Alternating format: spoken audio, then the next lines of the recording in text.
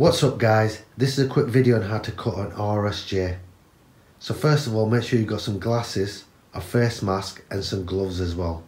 Make sure you put a bucket of water on the side just in case if you end up setting a fire or anything you can put it out.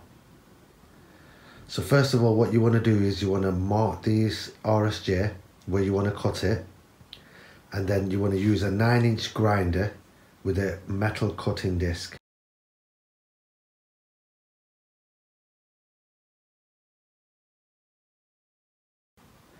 So first of all, before you start cutting into it, you just want to score it with the grinder first and then start cutting into it afterwards and I'll show you that.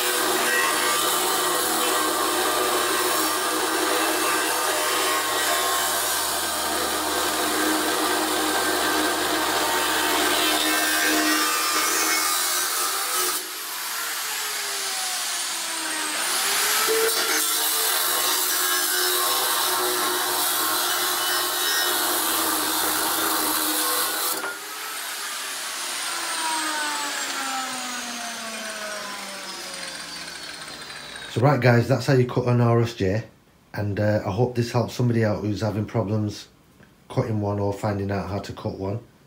And uh, thanks for watching guys. Don't forget to like, comment and subscribe. Bye.